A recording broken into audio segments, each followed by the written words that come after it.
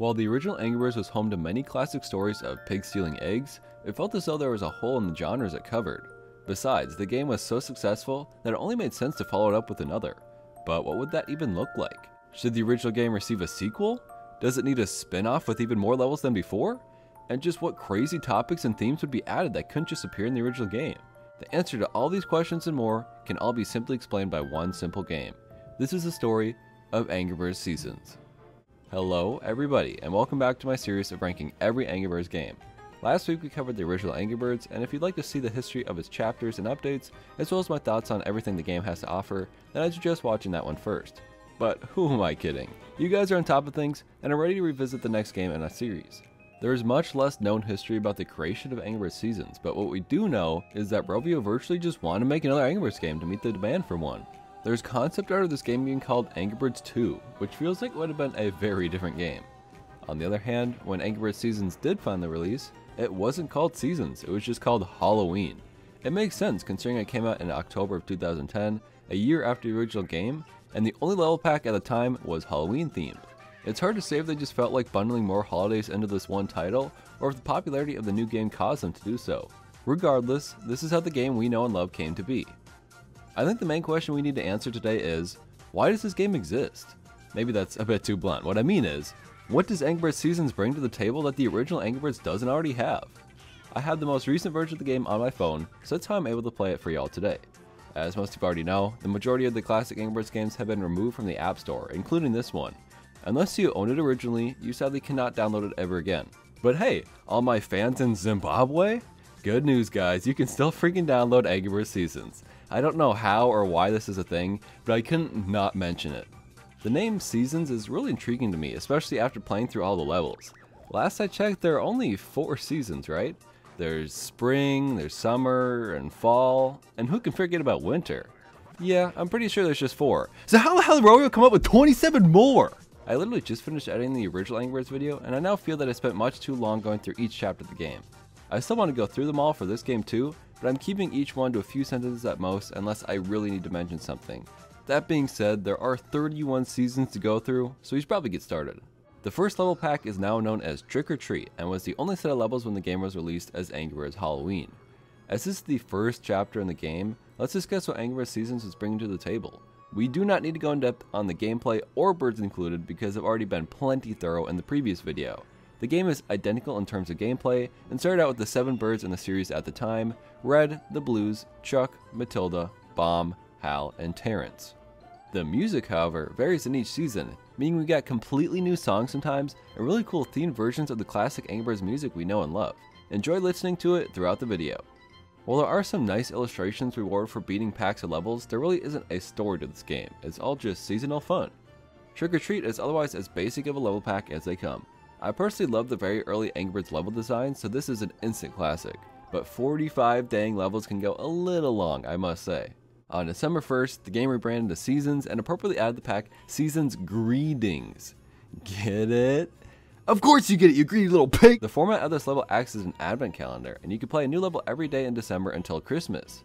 That means nowadays you can skip to the last level or any one you want whenever you want, which is cool. Very basic level still, so we move on. The calendars turned to 2011, and since the game launched towards the end of 2010, this is their year to really hit all the big holidays. Hogs and Kisses is up first, our Valentine's themed pack. There were cupids everywhere, pigs falling in love left and right, and just general romance felt throughout each level. I love killing pigs in love. Go Green, Get Lucky sounds like a weird sequel to the sex episode, but it's actually just our St. Patrick's Day chapter. The pigs become leprechauns, and it's the birds' job to steal all their gold and destroy every four leaf clover. The Easter eggs chapter is pretty special as they went all out with 10 golden eggs to find. Easter just makes the most sense for Angry Birds to cover, so I feel as though these are some of the more memorable levels in the early life of the game. Then summer rolled around, and the pigs decided to throw a picnic. More like a picnic, am I right? Wait, they already made that joke? Oh man, I feel like such a douche. This chapter is also in the advent calendar style and had a whopping 30 levels. Honestly, this theme is pretty boring to me. The only good level is the last one because the reference to the HAL animation I love so very, very dearly. Getting to play a level just like the video is a surreal experience. The Mighty Eagle is added in this update, but who cares honestly? Definitely not me. Definitely not the guy who refuses to pay money to own the Mighty Eagle or something. The Moon Festival is the first real mix-up from the stereotypical season you'd see celebrated in mobile games like this. It's honestly a really great episode, and led to a lot of similar feeling ones down the line that are equally as awesome. October is almost always a spooky level pack, and this year was none other than Halloween. And if you know anything about the game, then you probably know that our boy Bubbles first made his debut in this very game. It was a really cool step for Angry Birds Seasons. Getting new levels was great, but brand new birds really solidified this as a big deal for Angry Birds history. We ended up getting a pretty substantial amount of new characters in this game, and it'll be fun to see how each of them were introduced too. I feel like I talk about inflation way too much when Bubbles shows up, so you know what? Fine. Have a picture of still inflation again. See, I can change. Look how much I've grown. Almost as much as Stella's grown. Almost. You know, all this talk of Halloween and inflation has really gotten me in the mood to order some more body pillows from Anime Dakimakura Pillow. And my package just arrived! I knew I needed a spooky new gotch you have to sleep with, cuddle with, pretty much do anything and everything with, and I even indulged in this cool mystery pack. I had no idea what to expect. These products are really high quality, and little bonuses like the hidden zipper on the pillows is a great addition. I know you're drooling over the thought of owning some of these yourself. I know I am. And the Black Friday and Cyber Monday sales are coming up quick. You're not going to want to miss it, so go to my link in the description and get all the body pillow, anime waifu, and hunky himbo needs fulfilled today. God dang it, I should have got a Mrs. Claus body pillow. Now what the freak am I going to do all winter? Guess I'll just have to play through the Wreck the Halls advent calendar and Angry Birds Seasons. Wait a second. Did you just say the Wreck the Halls advent calendar for Angry Birds Seasons? I love the Wreck the Halls advent calendar for Angry Birds Seasons. Have you ever tried the Wreck the Halls advent calendar from Angry Birds Seasons? Well then, click the link in the description.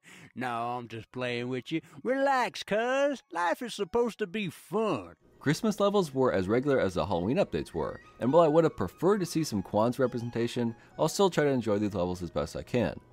The new year was 2012, and instead of the world ending like in that documentary, we got more Angry Birds Seasons levels and got to live through none other than the Year of the Dragon.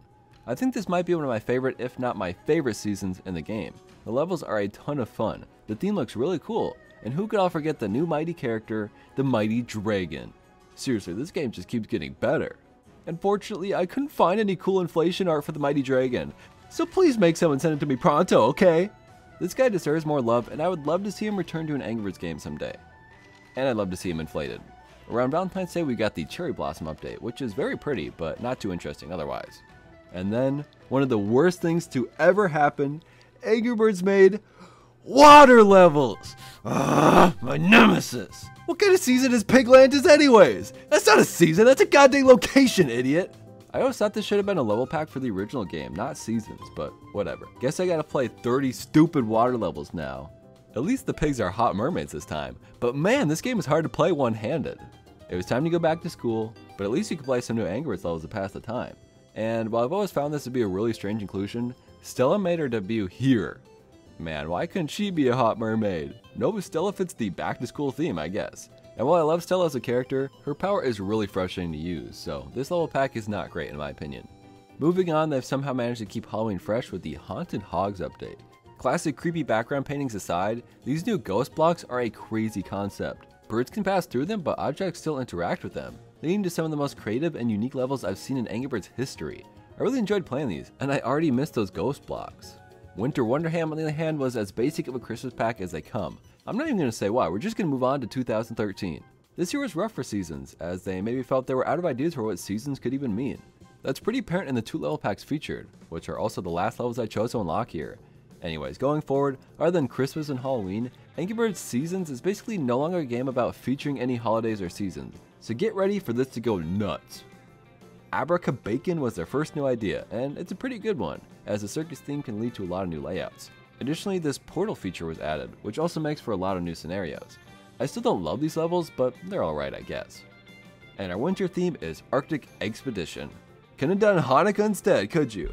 Well, your poor decision led to some really boring icy looking levels, now featuring water, so great job Angry Birds. 2014 had a lot more levels, but spanning over just 3 level packs. They've made a location a season once again with South America. I've been to South America, and let me tell you, it looks nothing like this. Still, these were much more enjoyable than the last pack. This update also included the Pig Days episode, featuring somewhat weekly challenges that were themed around smaller holidays. I honestly think that's a pretty perfect idea, as holidays like Left Handers Day don't make sense for a full update. There are a lot of funny and strange levels in this massive pack, so a few of my favorites are William Tell Day, World Goth Day, get my freaking Willow Gwen sandwich in here. And the last level ever added, World Milk Day. Oh, I was getting worried. I thought they were to miss it. In my freshman year of college, I had a lot of very boring and easy classes, so I spent my time much more wisely by 3 starring every level here. A lot of them were nightmares to do so, but I can now say I'm a certified Pig Day professional. I bet none of you can say that, can you? Get owned, loser! One of the biggest episodes is Ham Dunk, which arguably does work as a seasonal thing. March Madness is pretty big, and I'm surprised they never did a football or baseball theme too. For a good while, I thought it was going insane because I remembered specific levels for each NBA team in the game, and I thought it was really cool that my state's team had its own level. Apparently, near the end of the game's life, the levels were removed, and there was no explanation as to why. I guess their deal with the NBA ended and the levels are just gone now. They were cool, and all we have now are some kind of basic basketball levels. And who could forget a brand new bird, the Mighty Basketball. Wait, the Mighty Basketball? I hate the Mighty Basketball! It's literally just a damn Spalding ball that bounces around the screen and it pisses me off. F tier! Oh, sorry, force of habit. I say it's time we get a real new bird. It felt fitting for the Finnish-based company Rovio to make a winter theme level focus on their home country, and hey, why not make an awesome new bird to celebrate? It'd be Terrence's cousin, Tony, who's just as strong but can do a ground pound like no other. This guy shows up silver any day. Tony's such a cool character, and while it's fun to have him in seasons only, I wish he reappeared again. He actually is in some more levels in this game, thankfully, so what are we waiting for? 2015 was another fairly small year for the game with 3 episodes. Tropical Paradise feels like a fairly obvious summer theme, and the added Tiki object really make this one shine. Invasion of the Egg Snatchers is probably the farthest from a season that we've seen so far, but I can't help but love an alien themed set of levels. Ski or Squeal captures that stereotypical 80s ski movie trope that I've seen more parodies of than actual source material for. Still, after the amount of winter levels they've done, I'm impressed at their ability to bring something fun and new to the table. And just like that, we enter our last year of the game, 2016. Hey, on the bright side, this is our largest amount of levels in years.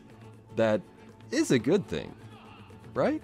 Well, remember how the original Angry Birds got rough around the time the movie released? Well, would you believe me if I showed you these loading screens and app icons they made for the levels in 2016? Oh yeah, get ready for absolute garbage.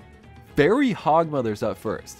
Alright, I guess they're calling characters seasons now. Well fine, my favorite season is Stinky Steve then. So instead of talking about these bad levels, let's look at some amazing Stinky Steves made by my Discord member G4 Bo. He has made so many fun gifts and just fun looks at what Stinky Steve could be like in the game, and it makes me want to see him modded into something so bad. Why isn't it possible? It's just not. Why not, you stupid bastard? Anyways, back to stupid old stinkless seasons, I guess. Somehow Marie Antoinette is the name of our next episode. Marie Antoinette. In what way is a historical figure a season, people?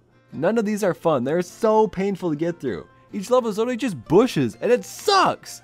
F tier. God dang it, I keep forgetting I'm not doing that. Finally, a normal one, summer camp. The levels aren't great, but I am happy it's based on something seasonal. Anyways, next up is Piggywood Studios. To be fair, a movie-based episode makes a ton of sense, and seeing references to a bunch of classic movies as Angry Birds levels is actually cool. Now, what if we took one movie that was popular in 2016 and used that for the entire theme of our Halloween levels? Nah, that would be crazy. You're actually really dumb for suggesting that. Let's take a TV show that's popular in 2016 and make it the entire theme of our Halloween levels. You know it's bad when the best pun they could come up with was Hammier Things. And if you still haven't realized, this is a Stranger Things parody. You couldn't tell because the levels have absolutely nothing to do with the show? Oh, come on, that can't be true. That Okay, you actually might be onto something there. Whatever, it really doesn't matter as we have made it to the final chapter, Ragnarok. I, mean, Ragnahog. Wait a second, that doesn't even sound any better. It's Viking stuff. Who really cares at this point? At least it feels fitting for the game. Let's look at the very last image we see in Angry Seasons and get to the ranking, shall we? What do I like and dislike about the second game in the Angry Birds series? Well, I understand now why this game deserves to exist beyond the original game, but I want to save that for my closing monologue before revealing its placement on the tier list. I will say, for having double the chapters, it kept my interest nearly all the way through. It really helped to change themes, add mechanics, and keep each episode somewhat short. The cast of characters is great too, and those little bonuses like Tony and the Mighty Dragon stand out compared to the original Angry Birds roster. It was also just fun getting excited for the next holiday to roll around so you could play a new update in this game. I feel like, especially in that first year, getting all the big holidays was a really exciting time and led to a lot of longtime fans attaching themselves to the series. I hope it's clear I was only joking about the weird quote unquote seasons they started introducing. They were mostly fun, and I understand not everything actually has to be seasoned to work in this game. I think the original Angry Birds set up seasons so it could knock them down, and it did not disappoint. but there are always negatives. Some of these packs are too long or too short even. The first half of the game is great, but the 2016 levels had the same problem as late Angry Birds had, where each level just has too much stuff going on, and at least it's just cluttered ugly messes. Again, look at an early level, and then look at the holiday levels. It's an insane contrast that proves how keeping things simple isn't a bad thing.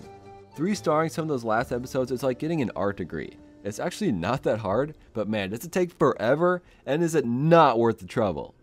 But otherwise, I'd have to say I thoroughly enjoyed revisiting this game. I really didn't give it a chance as a kid, and even as an adult, the amount of levels put me off. But forcing myself to do it for this video reminded me of a lot of great concepts and chapters that I'd completely forgotten. Something I noticed after playing through the first game again is I seem to run out of ideas for level themes pretty early into the game. I think the last few that worked perfectly fine were Ham 'em High and Mine and Dine, but even those feel like they could have worked just as well in Angry Seasons. After that, they added stuff like Flock Favorites, tons and tons of Bird Day levels, and of course Piggy Farm and Jurassic Pork, both levels that should have absolutely been in Seasons, but Rovio just felt like giving the original some attention. What I'm getting at is, Angry Seasons feels like the game Rovio wanted to make levels for all along. Each pack levels had a single theme that originally focused on holidays, but eventually could be anything and everything. The levels in this game feel so much more fun and interesting than the original game, and I'd have to imagine Rovio had an easier time making updates for this game than the other. I guess the more consistent update schedule kinda proves that too. In short, Angry Birds Seasons feels like the perfect solution to the main problem the original Angry Birds had, and somehow the small holiday game spin-off turned out to be the superior Angry Birds experience. S tier. Looks like this is our first change up from the previous tier list I made. I put it in A before, having only remembered that the game was good, but couldn't possibly compare to the original. That's why I'm really glad to be taking my time and playing through these games fully from my updated list. But who knows, maybe you all have yet to be swayed and still consider this A tier or worse. Let me know what you think. This series and all my other ranking videos would not be possible without the support of my Patreon and YouTube members. Please consider supporting me if you've enjoyed the series and want to see more. Thank you to my current channel members, Groth One Finger, Cobalt Chrome E, Patrick Vajerjan, Honomaki, Knight 9000, Bright Streak, MD Switchy, Gall Guy, Daisy, Dolphin Rider H2O, Dojo Master, Pez Dispenser, Omegon, Carl Williams, and Christoph Creations. I got three new members after releasing my last Angry Birds video, which I assume means that you are a fan of the series, and I wanted to give you a special shout out as well. So thank you to Eduardo Santiago, especially because you're in the shut up and take my money tier, so I will shut up, but I sincerely appreciate it. Thank you, generic Toho fan, and thank you, it's me, Ali. It will be a little while before we get to the next game in the Angry Birds series, which is, of course, Angry Birds Rio. Exciting stuff. I'll see you then. Goodbye. Guys, I woke up early this morning to record this video and there's snow outside. Today is October 31st and there's snow outside. God dang it, Angry Birds Seasons not wrecked the halls yet. You can't make it snow. It's Halloween. It's Halloween, Angry Birds Seasons. It's Halloween.